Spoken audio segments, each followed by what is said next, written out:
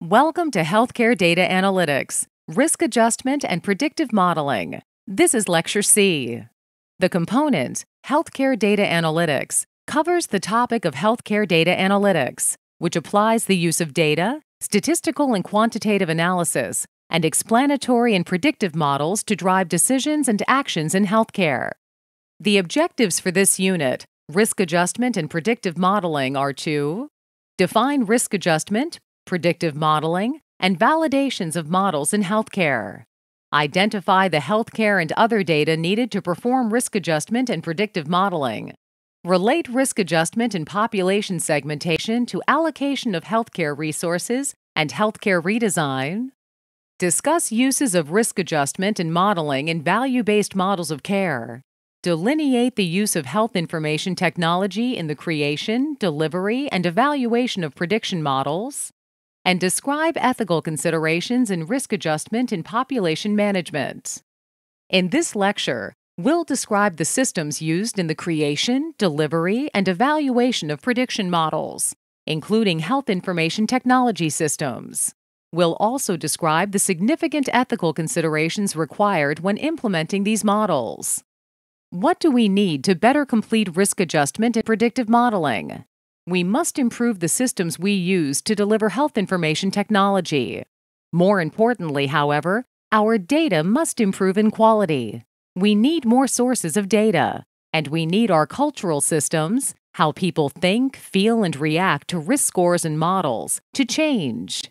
We must also reflect on the ethical considerations in more detail how and when to share, what is acceptable to society and individuals, and how we manage benefits and risks. How do we use health information technology, or HIT, now? How can we use it better in the future? The entire trajectory of HIT use is changing so fast that it's difficult to keep up. Many innovations exist now that could change healthcare significantly, but are not widely distributed. For instance, using genetic data, we can predict who's likely to get muscle aches or even muscle breakdown from a class of cholesterol lowering drugs known as statins. We do not do these tests now, however, because the genetic testing is difficult to get. The storage and retrieval of this information is not possible in most HIT systems in structured or encoded fashion, and most providers don't know what to do instead of using statins. HIT is used for prediction in three ways creation, delivery, and evaluation. Researchers and people in industry often create algorithms that risk stratify or predict outcomes. Researchers study a condition or group of patients, analyze their data, and propose a risk score. Industry also analyzes data, but they use it for the benefit of program planning. The word industry in this situation is loosely defined as large health plans, health product companies, and data oriented companies that work with healthcare, such as Siemens or Optum. Some examples of questions industry would try to answer using HIT in prediction would be How much of our healthcare resources will a specific group of patients use? Which patients will benefit most from certain procedures? How can data collected from person tracking devices like Fitbits be used to provide feedback and increase use. In terms of delivery, HIT is used in reports produced by health systems. Additionally, rules might be put in electronic health record systems, or EHRs, to deliver recommendations at the point of care. Patients and families use HIT when they receive information via email or the web. The use of HIT for evaluation in terms of implementation and benefit harm analysis in the real world is often limited. Industry sees the algorithms as important intellectual capital, and researchers only rarely have taken the time to see what happens after their rules are implemented. This is changing, however, as more informatics research looks at dissemination and implementation. Here's an example of the steps required to produce these risk scores. On the far left, a group of data sources are shown. Starting from the top, EHR data is collected about healthcare delivered to patients and the results of their studies. Historically, this information is highly context dependent and largely narrative, with narrative meaning notes about patient conditions and treatments. For instance, researchers have shown that the diagnosis of diabetes is often recorded for billing purposes when a test to rule out diabetes is completed. This billing code would go to the next data source, known as claims, but not the result of the test that ruled out diabetes. Claims, therefore, has the bills for procedures, visits, and diagnoses. Pharmacy benefits, a kind of claim, has information about medications covered by insurance. Finally, personal device data may track a person's steps, workouts, or diet. In the top diagram, EHR data alone is extracted, transformed, and loaded into population management systems or enterprise data warehouses.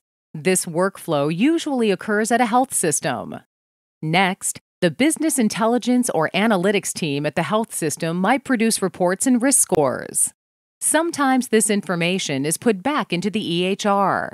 The other sources, claims, pharmacy data, and device data, might be purchased and go into an aggregation program at an industry data warehouse, where risk adjustment, actuarial analyses, or program planning might occur. Industry might also use this information to anticipate new markets for products. In either case, the data is taken away from where and how it was collected, leading to significant confusion at times about the meaning of the scores.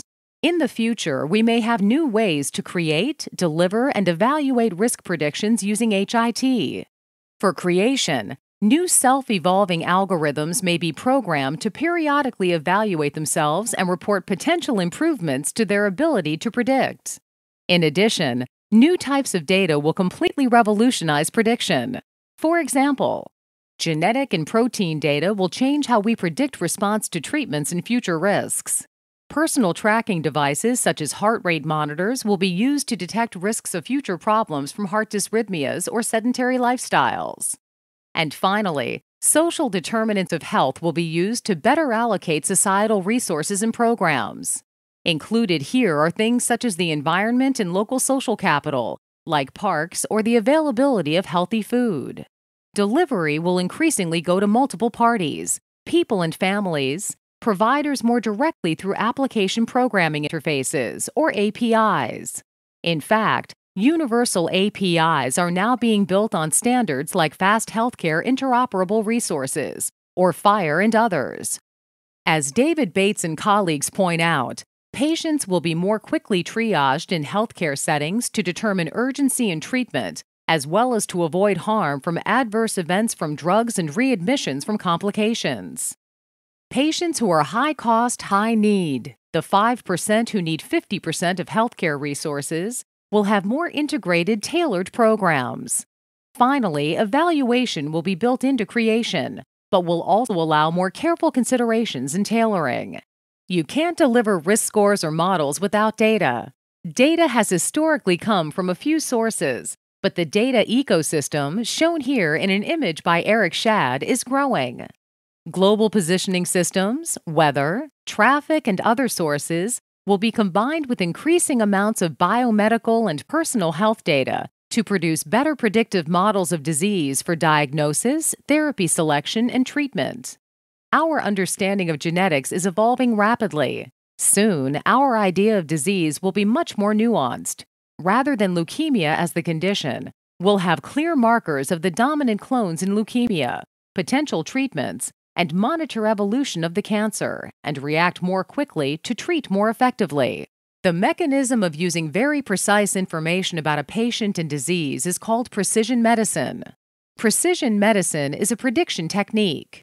As shown in the image from the National Cancer Institute, cancers can be genotyped and specific treatments found or even created for each cancer. Although this approach is new, it highlights how prediction models might be used in every treatment for every patient. If you're interested in this topic, read about immunotherapy or CAS9 CRISPR approaches in the news or on healthcare blogs. The evolution of precision medicine is shown here. Historically, our knowledge was limited to three traditional cell types squamous, large cell, and adenocarcinoma. And in 1987, one genetic mutation, KRAS, was discovered that represented about 27% of cases. In 2004, we found one more genetic mutation, EGFR, which represented about another 10% of cases. By 2009, we had added seven more genetic mutations for a total of nine, now diagnosing the genetic mutation in more than 50% of cases. This massive change is meaningful because we can attack the mutation in different ways. We won't use a drug where the genetic mutation gives resistance to it, instead, opting for other therapies. What are some of the problems with our view of the future?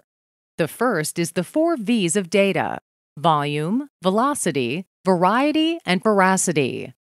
As data increases in volume, from terabytes to petabytes, the size of our HIT systems must increase to accommodate such large amounts of data.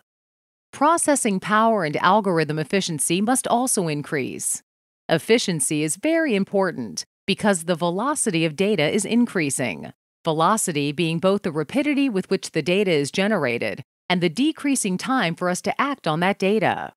Imagine a thousand patients with heart monitors. For each patient, the heart is beating 80 times per minute with continuous electrical output for each beat.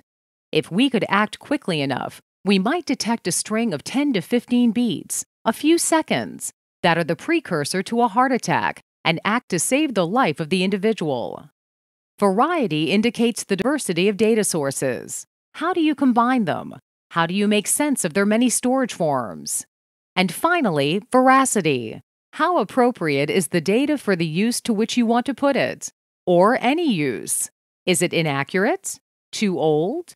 Incomplete? Although data issues are important, the way in which we take up data and use it in society and in our organizations depends largely on cultural issues. We have a saying in informatics that only 20% of the issues are technical the HIT are specific tasks, and 80% are social, the norms, the structures, the people, and their interaction. Our ability to process and use information is limited, and the prediction rules are never perfect. Dealing with this uncertainty is difficult. The validity and reliability of the predictions for something like readmission is only accurate a fraction of the time, and response depends in large part on how much people trust the data their current attention, their sense of what to do and how to do it, and what other people think.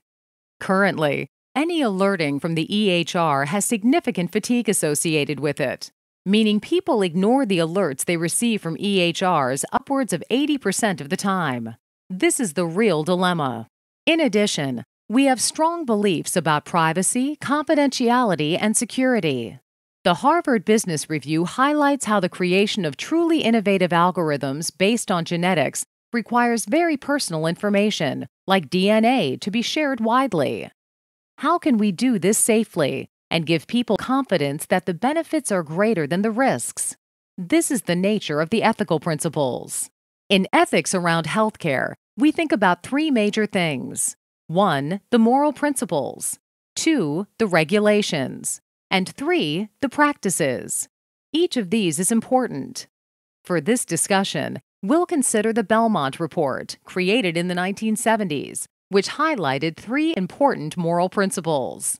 Respect for persons, meaning we must respect individuals and their rights and autonomy, protecting those with limitations to their autonomy. Beneficence, meaning that we must act for active good. And justice, meaning we must consider equity and fairness. For data and risk prediction, we must engage the consent of persons whose data is shared. We must use the information for good purposes rather than to discriminate or act against people. And we must be fair, providing the outcome of the data equitably. These are difficult issues. Some regulations, like the Health Insurance Portability and Accountability Act, or HIPAA, try to encode these principles. Enacted in 1996 and updated over the last few decades, the Act establishes guidelines for protecting privacy, allowing patients to get their own data and decide when it can be shared, and punishing those who violate these laws. For practice, we must improve our ability to provide good by making it easy to do the right thing. When the data can be used appropriately, do we provide it in an easy to consume fashion to give benefit? Or is it unstructured or kept in a proprietary format? In a more focused analysis, we see that ethical problems in healthcare and prediction modeling are large. For healthcare, it isn't equitably distributed or available. Will our models improve this or make it worse? How we handle data through these transformations is also important. Data used out of context may be misused or misappropriated, violating respect for persons. Finally, how we produce and share our algorithms through software is important. Poorly programmed software may fail to produce outcomes we want and may harm persons. When should we provide public access to data? For example, to be effective, the Internet of DNA would require making genomes public. This would likely be covered under the ethical area of personal autonomy. If you accept the risks and potential benefits of releasing all your genetic information, you should be able to do so. However, what about the wishes of those who share parts of your genome, your children or relatives? Could the release of your genome adversely affect them? Public health has often trumped individual desire to keep data private. For example, a restaurant owner whose business fails a health inspection may not want that data made public. But if making that information public would limit the outbreak of a potentially deadly disease such as E. coli, the wishes of the business owner will be overridden.